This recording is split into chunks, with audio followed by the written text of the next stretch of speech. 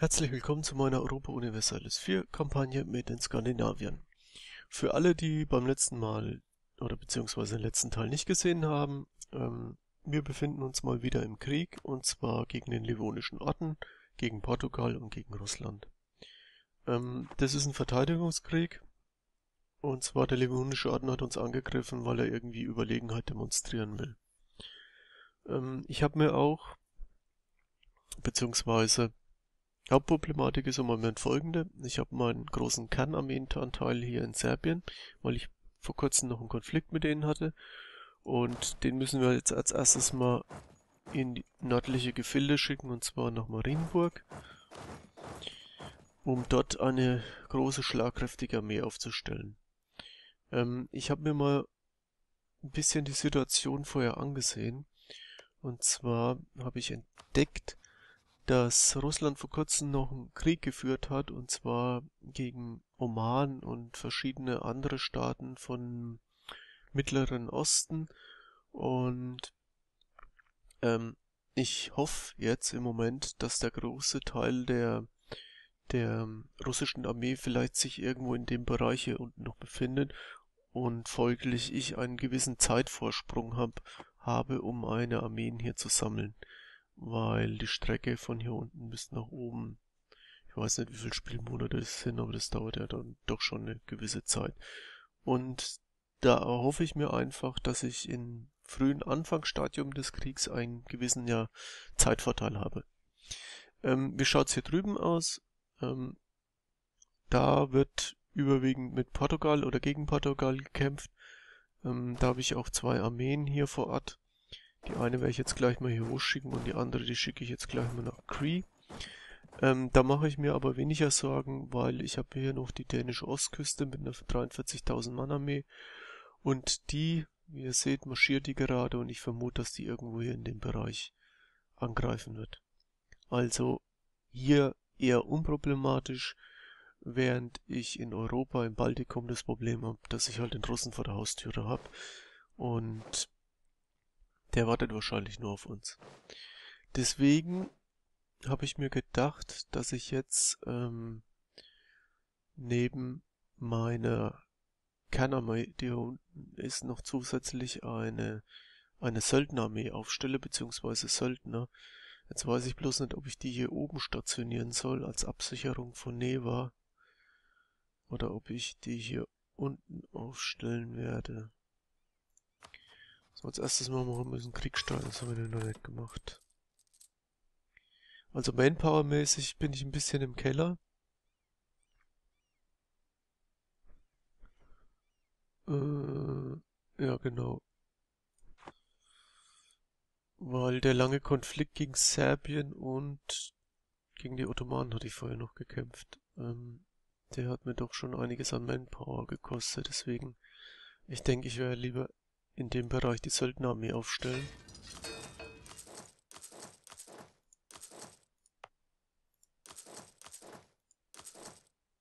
So. Und dann warten wir jetzt erstmal ab. Also das Hauptproblem ist halt, dass ich aus dem Krieg, egal wie er ausgeht, mit einem Haufen Schulden rausgehen werde, weil ich muss auf Söldner zurückgreifen. Weil gegen die russische Armee habe ich doch, doch geringere Chancen bestehen zu können. Ja, ähm, Ingmerland wird schon angegriffen. Ich hoffe, dass ich schnell genug meine Armeen hier zusammenführen kann, weil ich möchte auf jeden Fall gegen die livonische Armee ziehen und die gleich mal vernichtend schlagen. Das wäre natürlich ein guter Schachzug von mir, weil dann hätte ich schon mal so, so einen großen Pulk Armeen weniger. Ähm, und könnte mich dann wahrscheinlich auch voll auf Russland konzentrieren. Ja, das hätten die mal früher tun sollen.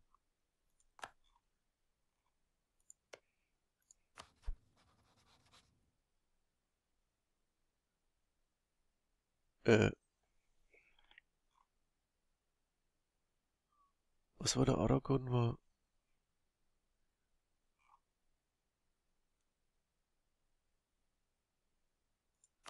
Mit Russland. Ich habe gedacht, gegen Russland sind im Bündnis eingetreten.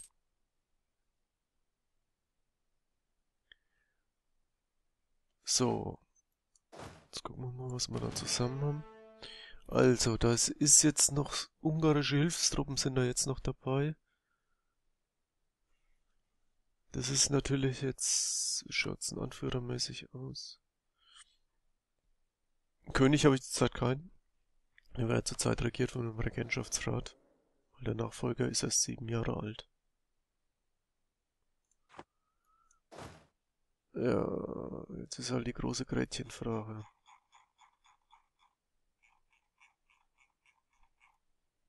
Wir marschieren jetzt erstmal hier hoch. Ja. Das ist natürlich nix, wenn die Ungarn noch nicht mitmachen.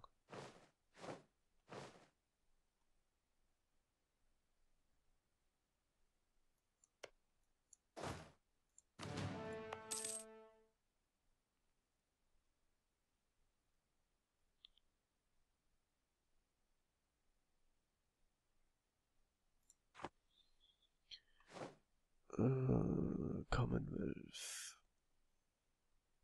Ja, Böhmen bräuchte irgendwie so einen Zutritt hier, Genehmigung. Das ist doch Mist. Die kommen hier nicht raus und die haben eine gute Armee. Scheiße.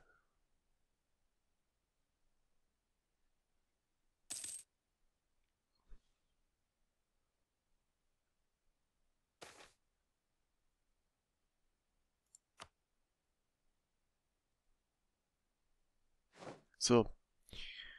Ähm, die Armee ist jetzt vor Ort. Jetzt müssen wir genau die Lage peilen.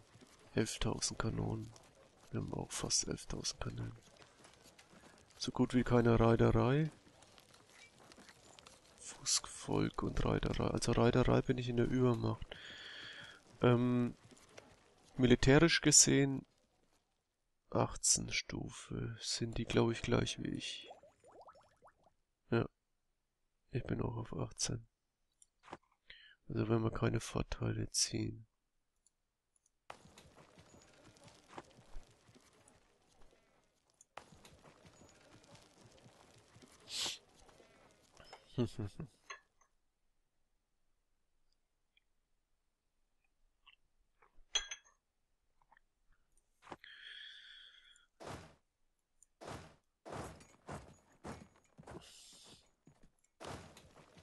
ja, ich muss das Risiko eingehen, dass hier meine ganze Armee verloren geht.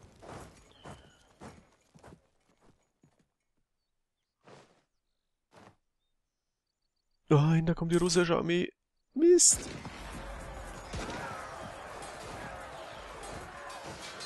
Rückzug. Mist. Ey, genau im falschen Moment ist die aufgetaucht. Ich könnte schreien.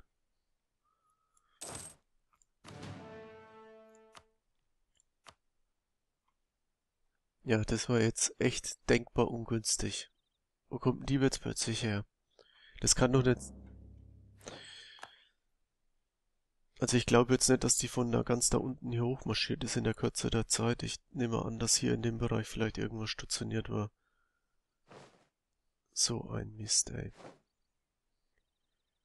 Ja, jetzt, jetzt schaut's natürlich ganz bitter aus, weil die Taktik, die ich eigentlich vorhatte, die schlägt jetzt schon mal grundsätzlich fehl. Also dieser schnelle, die schnelle Vernichtung der livonischen Armee. Jetzt müssen wir da anders vorgehen. Jetzt wollen wir als erstes mal Nava besetzen. Die müssen sich erholen. Ja. Die kann ich zusammenlegen. Weil erholen tun die sich sowieso nichts mehr. Weil ich ja viel zu wenig Manpower habe. Dann werden wir die jetzt weiter mit Sölden aufstocken. Was haben wir denn hier? 6000 Kanonen.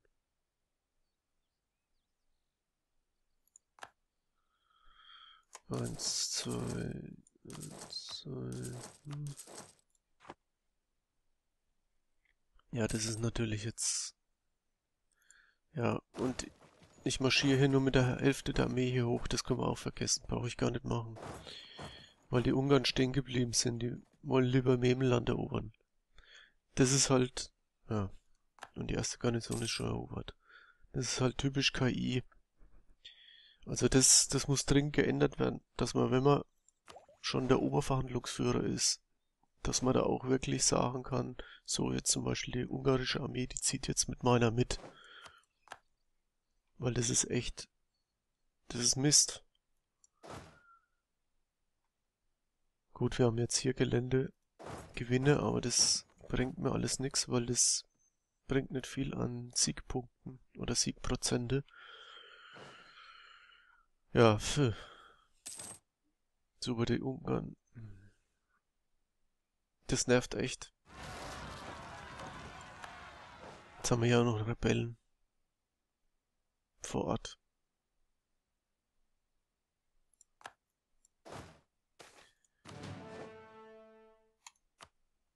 Religion in Marienburg ist katholisch. Jetzt haben wir hier noch Unruhen. Naja, jetzt kommt ja alles zusammen. So, jetzt gucken wir erst mal, was hier los ist. Diplomatie können wir zurzeit nicht erhöhen, habe ich nichts zum Freischalten. Und oh, das.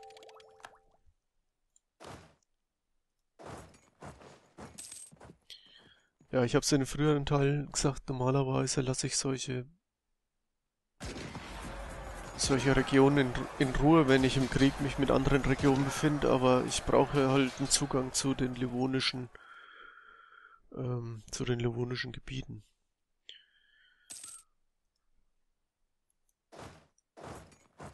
Ja, ähm, die einzigste Möglichkeit ist, einen schnellen Frieden auszuhandeln.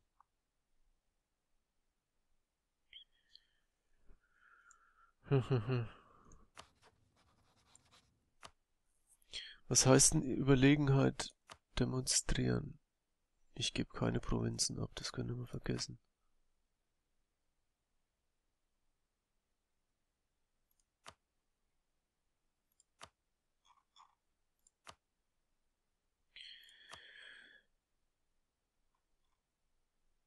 Auslöschung der Kästenzerei, was heißt denn das?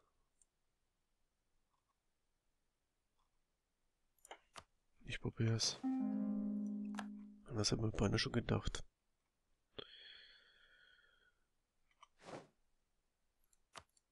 Ja, hier drüben haben wir natürlich Geländegewinne und Mass, aber das bringt uns alles nichts. Ich kann nicht direkt mit denen verhandeln. Also was Sal ist mit Portugal kann ich auch nicht, weil der livonische Orten Diplomatie Übermacht hat. Mit denen könnte ich verhandeln, aber die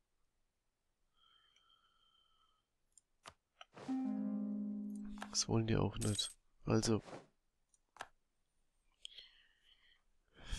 Ja, hm. Weiter auf Schulden bauen wahrscheinlich. Ähm, Kanonen, 8000 Kanonen. 1, 2, 3. Ja, ich muss jetzt eine Soldatenarmee aufstellen. Ich werde jetzt massive Geländeverluste haben. Das ist natürlich riesiger Mist.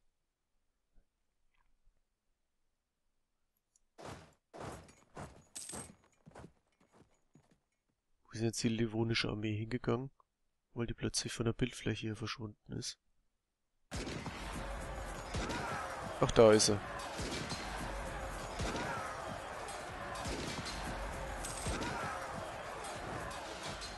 So.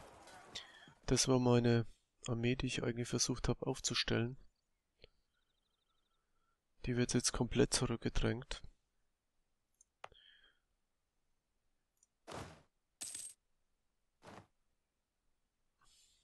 So ein Mist, ey.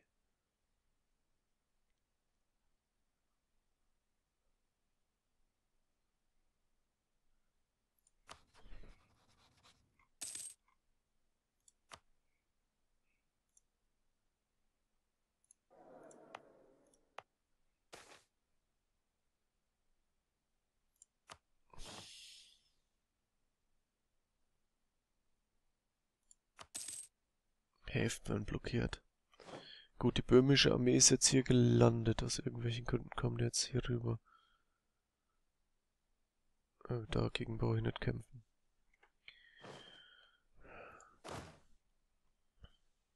Komme ich hiervon weg? Nee. So haben die eigentlich...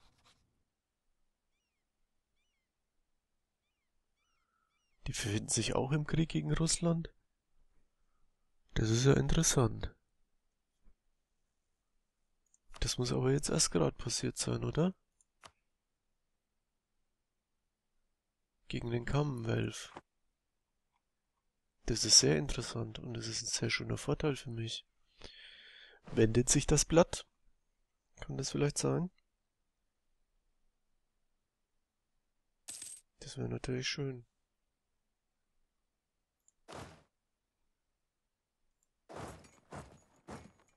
Wo wollten ihr denn hin? Nach Holstein oder was? Na klar kriegt ihr einen Zugang. Das gebe ich euch wunder das gebe ich euch sehr gerne sogar.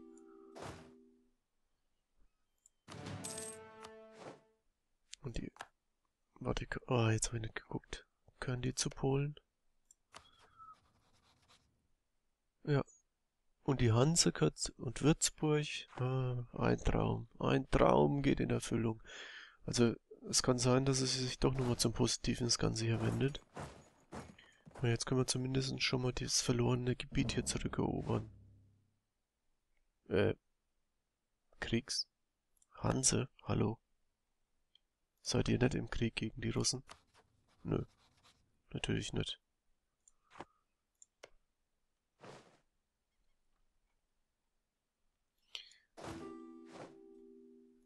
Ja, ihr kriegt auch ein Durchgangserlaubnis.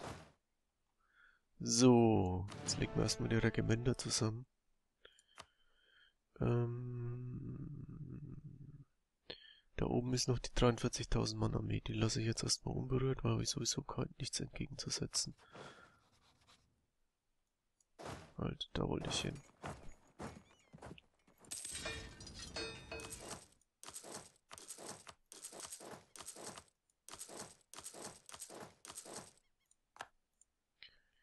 Ähm, so lasse ich das alles über eine Provinz laufen. Weiß ich nicht. Ähm, pop. Eins, zwei, drei. Das war's dann auch schon. Es wäre halt schön, wenn ich da aus dem ganzen Scharmützel keine Kredite aufnehmen müsste. Aber ich vermute, dass es nicht so einfach sein wird. Im Moment versuche ich es noch zu vermeiden. So. Und jetzt wäre es natürlich ganz schön, wenn der Commonwealth gleich mal die 42.000 Mann Armee da wegräumen würde. Und die Böhmen sind jetzt mittlerweile auch in Russland. Oh, das ist ein Traum, ey. Also, das hätte ich jetzt ehrlich gesagt nicht gedacht, dass wir nochmal so viel Rückenwind kriegen mit unserer Koalition, mit unserem Krieg. Sehr schön. So. Äh, die geht dahin.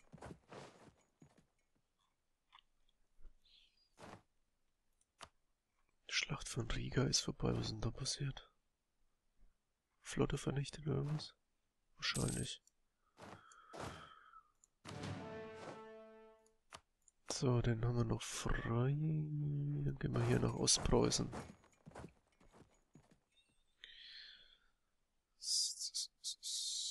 Ja, ihr müsst jetzt mal schauen, dass ihr die wegräumt. Und mit der so einer Armee würde ich gleich hinterher springen. Das ist immer das Gleiche. Das ist schlimm mit der KI.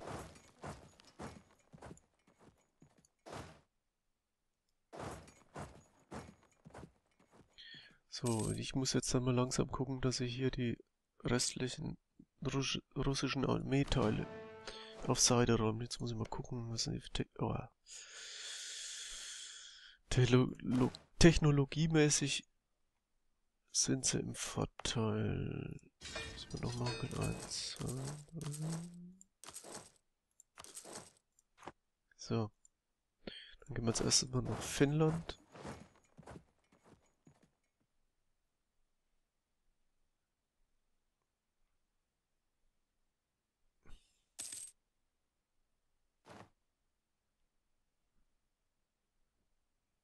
So, und jetzt muss ich ja mal gucken, dass wir langsam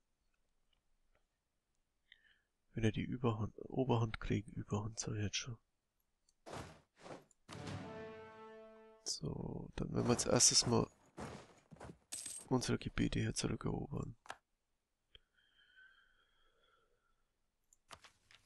Wisst ihr eigentlich, was für ein großer Stein mir vom Herzen gefallen ist? Nachdem... Ah! Das soll sie nicht zu früh freuen. Was habe ich denn da im Gepäck? Böhmen sind noch dabei. Wir probieren's. Wir probieren's. Okay, das ist in Ordnung. Äh, was haben wir denn noch da? Kommen wir da hin? Nein, da komme ich nicht hin. Komm ich... Hier komme ich aber hin.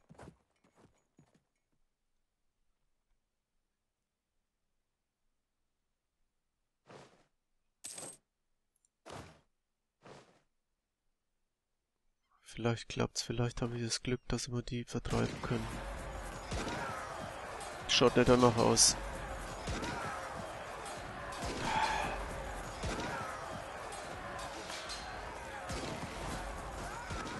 Schade, schade, schade. Das wäre es jetzt gewesen. Das ist echt ein Problem noch. Die Armee ist noch zu stark für... Besetzt durch Ungarn, ja, soll mir recht sein. Ähm, wir gehen jetzt mal gegen Riga vor.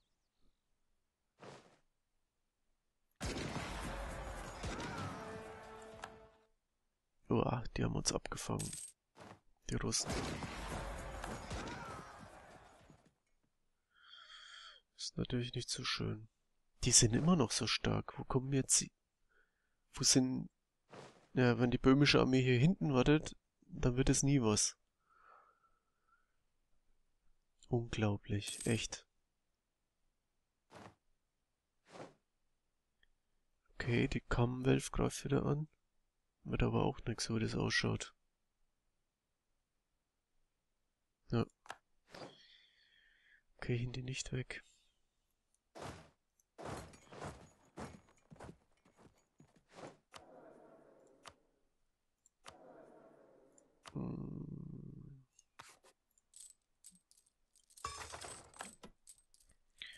Ähm, gibt's da irgendwas? Äh, Toleranz des Glaubens, Quantitätsideen. Modifikator, Soldatenzahl wäre natürlich nicht schlecht. Ähm, wie schaut's denn hier aus? Nee, machen wir erstmal die nächste Stufe. Militärisch. Dann gucken wir mal weiter.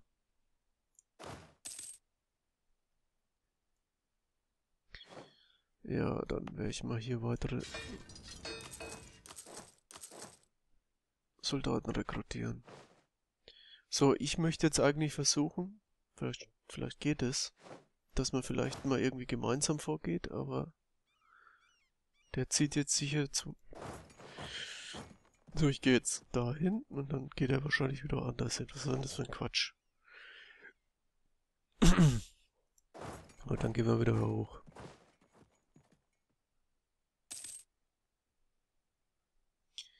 Also hier kommt die Vatikanische Armee. Aber ob die unbedingt diese hier besiegt, das weiß ich nicht. Okay, das gehört auch uns. Haben wir hier noch irgendwas, was, was rot ist? Da unten komme ich aber nicht hin so schnell. Und außerdem müsste ich da über die See fahren und die See ist ein bisschen gefährlich, weil die Portugiesen recht große Flotte haben, wie ihr vorhin gesehen habt. Ja, das war's eigentlich hier oben. Es wäre halt schön, wenn wir einen Separatfrieden mit denen schließen könnten. Können wir aber nicht. Ähm, ja. Hm. Die liegt mir immer noch quer da oben. Moment schaut's auch wieder so aus, als hätten die die Oberhand wieder.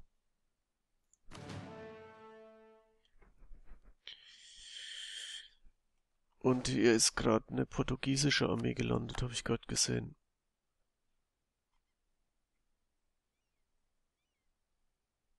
In Holstein. Das dürfen wir nicht zulassen. Sonst haben sie uns gleich alle an jeder Front am Wickel. Ja, jetzt gehen sie wieder mit einer Unterzahl gegen die vor, also das wird sowieso schon wieder nix.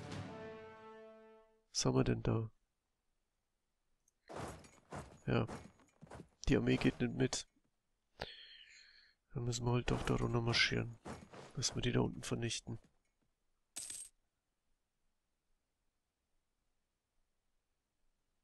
Also kurzfristig sah es ja ganz gut für mich aus, aber jetzt ist es halt wieder... Ah, sie wird zurückgeschlagen. Fangen die jetzt das Erobern an? Das wäre natürlich schön. Ja, machen sie. Und dann kommt die nächste russische Armee schon wieder. Himmel. Das ist der Wahnsinn. Das ist der Wahnsinn. Ich möchte mal wissen, wo die die ganzen Truppenteile her haben. Das können doch nicht nur Söldner sein. Sieht man das irgendwo?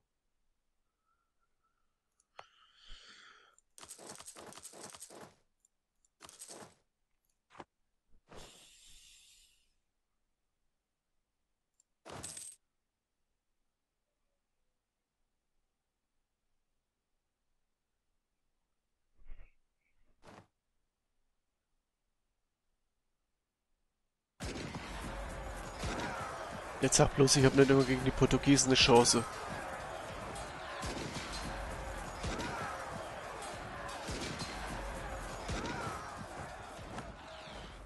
Ich habe nicht einmal gegen die Portugiesen eine Chance, das gibt's doch gar nicht.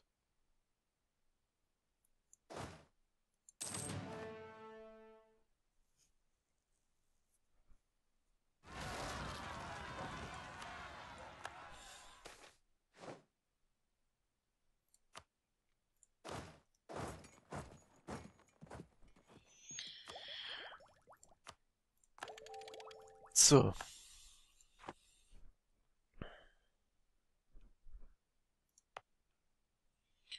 Was ging da uns jetzt verloren? Kanonen passt alles, rein. Fußvolk brauche ich.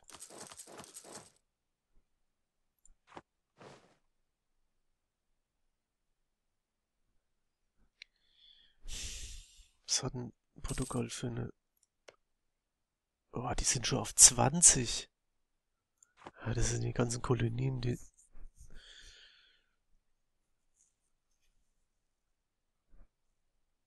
Die bringen einen Haufen Geld rein und mit dem Haufen Geld kannst du dir Gebäude schön aufrüsten. Und dir ordentliche Berater kaufen. Wo rennt denn der eigentlich rum?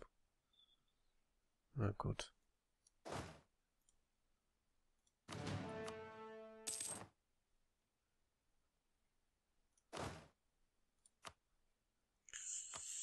Kein Anführer.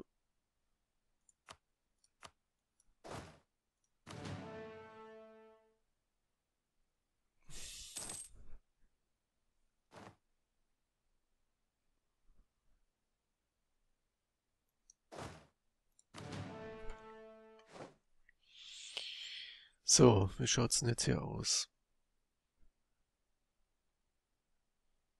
Ja, die Portugiesen muss ich irgendwie hier wegkriegen. Das Jetzt muss ich mir hier oben auch noch Kanonen bauen, ey. Gefällt mir gar nicht.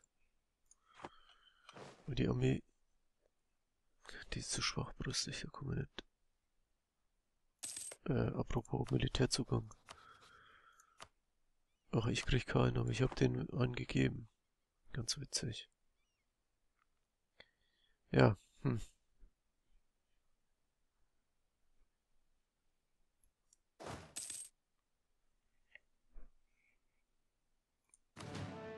Ähm,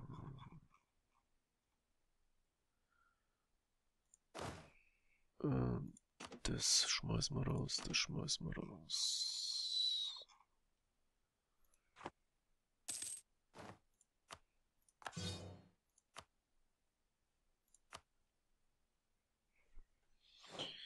Äh, Kriegsbegeisterung müssen wir mal minimieren, sonst wird das nämlich noch katastrophaler.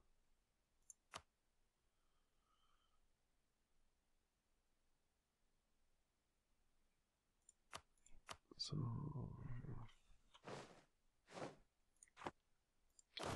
Ja, hm.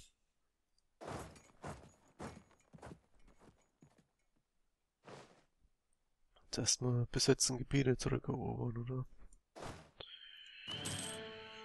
Es läuft nicht gut im Moment. So, was können wir denn hier machen? Machen wir auf jeden Fall.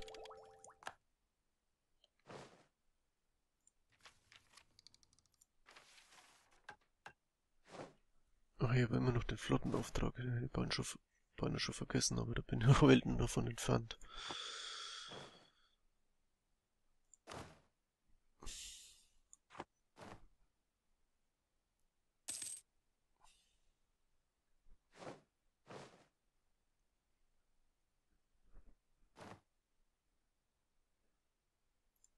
So.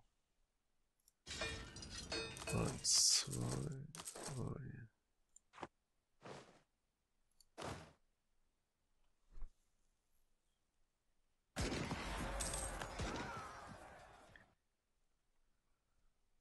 Also wichtig ist halt, dass die... Äh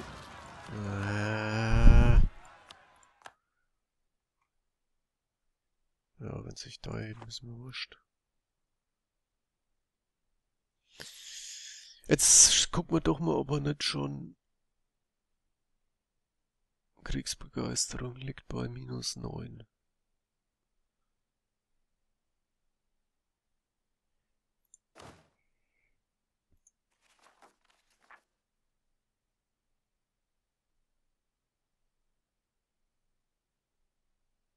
Äh, was wollte ich denn gucken?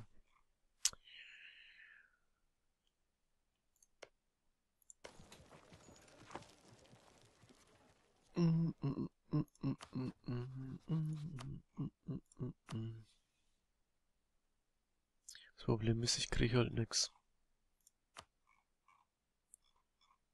Weißen Frieden wird...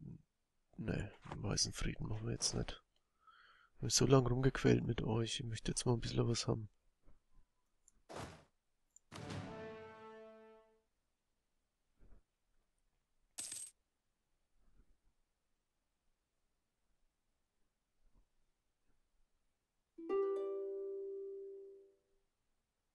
Ne. Ihr kostet, vernichtet meine komplette, meine komplette Basisarmee und jetzt weißen Frieden. Ne, ne, ne, ne. Und wenn die Portugiesen da unten noch so viel erobern, ist es mir wurscht. Könnt ihr jetzt vergessen.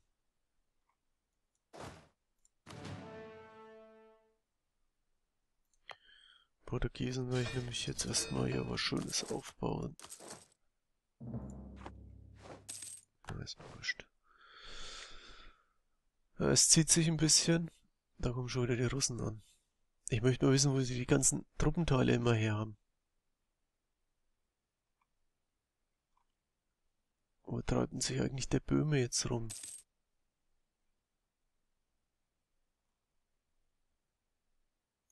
So, der steht hier. Der Böhme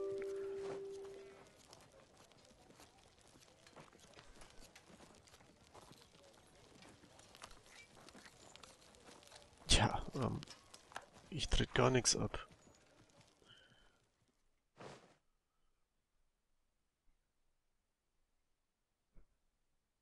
Ähm, vor kurzem stand hier noch eine Armee, wo ist denn die hin?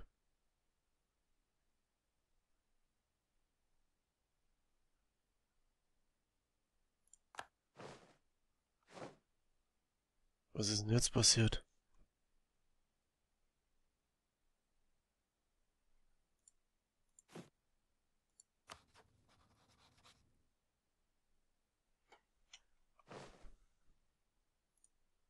Wer hat mit wem Frieden geschlossen?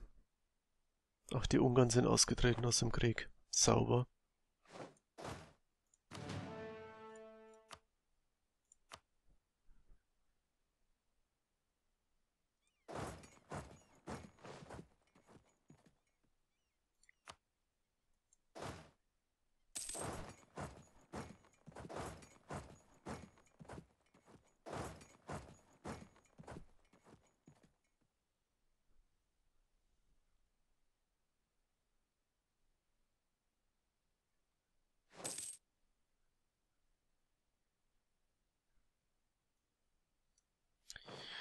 Ja, kurzfristig sah es eigentlich ganz gut aus. Jetzt verdreht sich das Ganze wieder zu unseren Ungunsten.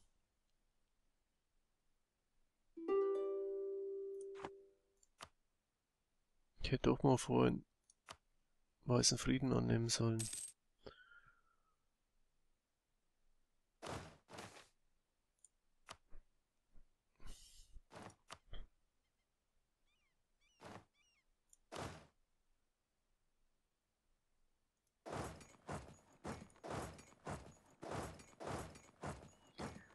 Ja, und das ist das Problem.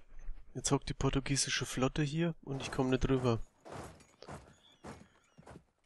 Jetzt muss man hoffen, dass die sich genau hier zurückzieht.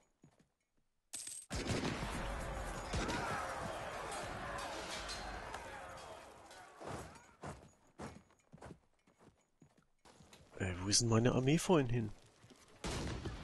Ich hatte doch hier eine Armee. Das muss man nachher nochmal angucken. Hey, das gibt's doch nicht, dass die plötzlich vom Erdboden verschwunden ist. So.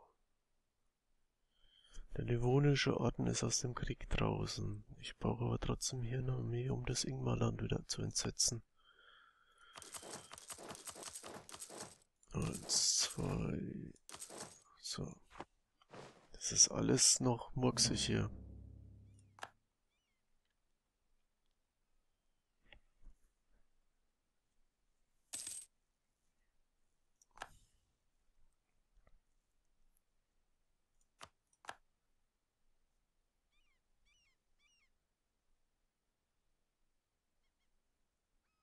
8000 Kanonen.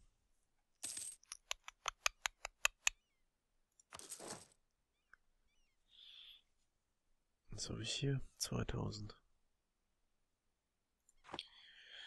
Hm, hm, hm, hm, hm. Das wird nicht besser hier mit dem Konflikt.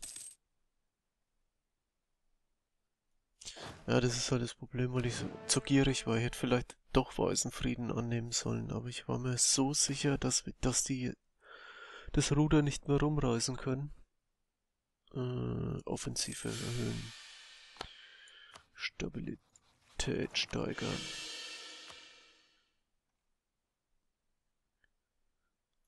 Aber da habe ich mich dann verkalkuliert. Schade eigentlich. Ja.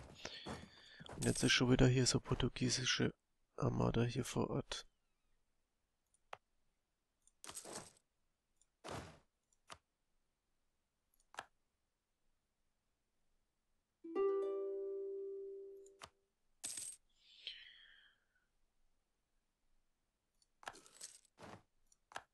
So, weißer Frieden.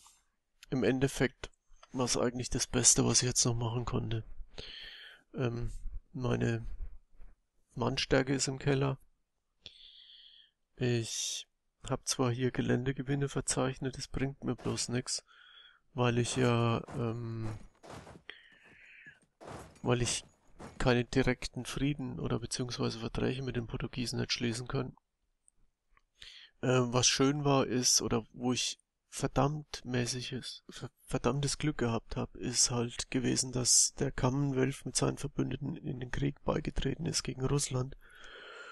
Und das hat mir mehr oder weniger den Allerwertesten gerettet, weil das war ja alles hier spitz auf Knopf.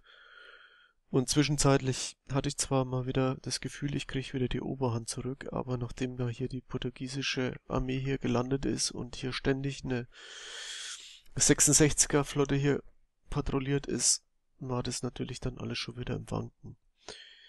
Ähm, wie geht's weiter? Ich werde jetzt auf jeden Fall meine Armee wieder neu formieren müssen.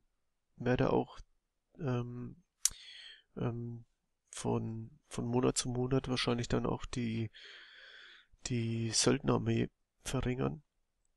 Aber das geht halt natürlich erst dann, wenn ich dann wieder eine schlagkräftige Basisarmee mehr oder weniger habe. Jo, und wenn's weitergeht, melde ich mich wieder mit neuem Screencast. So, dann bis bald, macht's gut. Servus, tschüss.